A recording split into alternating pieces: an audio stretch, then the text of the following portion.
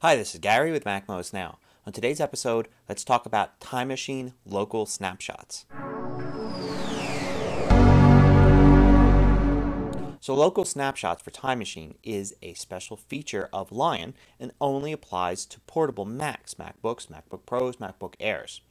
And if you're using Time Machine to back up to an external drive or to Time Capsule, then what happens is when you're not connected to that drive, you're still going to save your hourly backups, the changes, the files that have changed, to a local partition on your drive.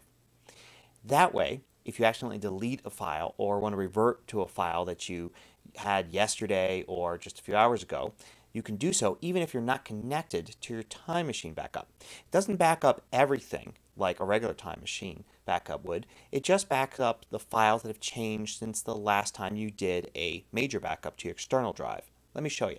So here's my MacBook Air. If I go up to the top of the screen and I click on the time machine icon, I can see that the backup hasn't been performed for a while. It says September 10th, that was several days ago. Um, it says backup delayed, uh, and it'll tell me that it's because the device, the external drive in this case, isn't connected. Uh, let me enter Time Machine anyway and take a look here. And it'll go to just a folder, my desktop folder in this case. Uh, now on the right, I see all the different times I can jump back to.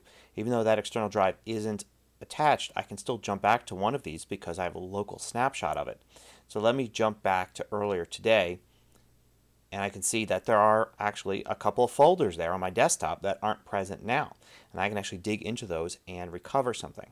Now you may notice if you go into your system preferences, go into Time Machine, you'll see this section right here that talks about uh, Time Machines keeps local snapshots as space permits. So you won't see this if for some reason you're not keeping local snapshots. Like for instance, if it's not a portable Mac, if it's a desktop Mac, that won't appear.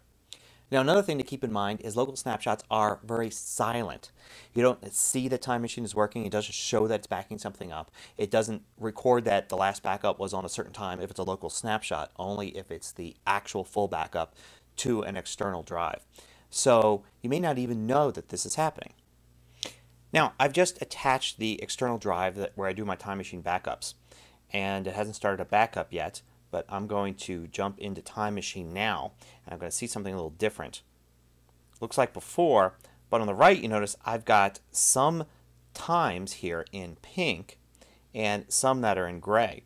The pink ones here represent full Time Machine backups that are on the external drive, and the gray ones represent local snapshots that are in between those times. So basically what Time Machine Local Snapshots is doing is it's trying to use the unused space on your drive in a smart way. So yes, it's going to take up extra space on your drive, but only if you've got that extra space. So if you're short on drive space, it's not going to perform the local snapshots. Furthermore, if you start to run short on space, it's going to be removing local snapshots. Matter of fact, it's always kind of condensing them, right? It's going to save hourly ones for today, but then eventually it's going to combine them into dailies, weeklies, and monthlies, just like regular time machine. And as you run out of space, it's going to get rid of them. Matter of fact, if you run really low on space, it may stop using local snapshots altogether. So this means that you can't monitor your hard drive space too closely when you're using local snapshots. For instance, say you have a 10 gig file, really large video file. Well, that's going to get backed up to local snapshots, so you have a second copy of that 10 gig file you don't even know about. So it's 20 gigs of space, and as long as you have plenty of space, that's fine. Delete the file, and now you've freed up 10 gigs of space, but the local snapshot version is still there. Of course, it's got to be there because it's there in case you accidentally deleted that 10 gig file and want to recover from it. Then Later on, when it gets too old, it's removed from local snapshots. That means suddenly you get 10 gigs of space back on your hard drive, the second copy of that file that local snapshots was keeping. You can see exactly how much space is being used by going to About This Mac, More Info, and then if you click on Storage, you'll see this chart here. And one of the pieces of this chart is the little purple backups. That's your local snapshots.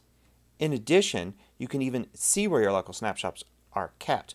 So in the Finder, you want to go, and you can't actually see this volume unless you go to folder and you decide to go slash volumes like that. And what will happen is it'll bring up the volumes connected, which is your Macintosh hard drive, and lo and behold, another partition called mobile backups. If you look in there, you'll see a backups file. Of course, you shouldn't mess with that. You should just leave it as is, but it's interesting to know where it's keeping it. Now you can also disable local snapshots if you really want to. For some people that may do video editing, may suddenly have large files appear and then disappear from the drive, you may want to do this. Um, the way to do it is in terminal is use this command here um, and you can use enable local to turn them back on. Now when you disable uh, Time Machine local snapshots, it's not going to get rid of them all immediately. It'll actually may take some time to go through and clean up the local snapshot. So don't expect to see the space return that second. Also note that if you look at the file space available in the Finder, amount available on your local drive, it won't take these backups into account. That's because they are free space and can be reclaimed by the system if needed. So if you have, say, 10 gigs of local snapshots uh, on your drive with 90 gigs remaining, it will show up in the Finder as you have 100 gigs of free space. And local snapshots also work for external drives. So if you carry a portable external drive with you and you're using that while on the go, it's going to store a local snapshot of files that have changed on that external drive. It won't do it in the same way with a partition. It actually creates a folder for that, but it is done. So that's a look at local snapshots. Now, a lot of people may feel that right away they want to just turn this off, and I really recommend against that. Unless you're having some sort of hard drive issues or something, I would just leave this on. It's really good use of that unused disk space on your drive, and if you're short on space, it's not going to get in the way.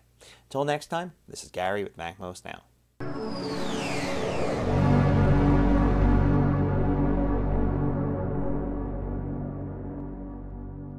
Want more video tutorials? Just go to MacMost.com, click on the videos link at the top of the page, and then you can view all of the hundreds of MacMost videos by category. Now you may notice if you go into your system preferences, go into Time Machine, you'll see this section right here that talks about uh, Time Machines keeps local snapshots as space permits. So you won't see this if for some reason you're not keeping local snapshots. Like for instance, if it's not a portable Mac, if it's a desktop Mac, that won't appear.